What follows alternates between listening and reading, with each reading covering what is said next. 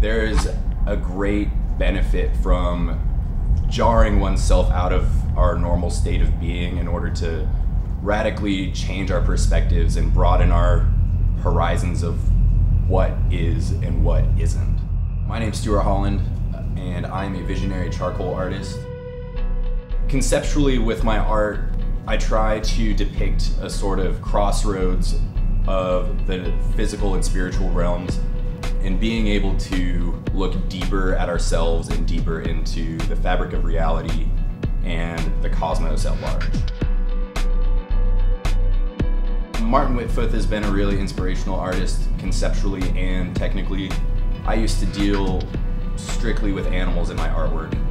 Has really influenced me in exploring these liminal states of what is and what isn't and what could be.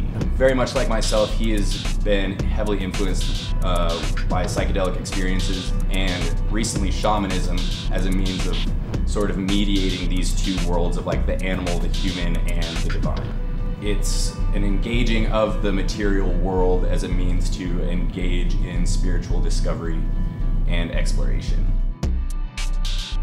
The thing that I enjoy about charcoal as a medium is that you have this object, a living piece of matter that in essence is light and has then gone and died a sort of state change from light to darkness.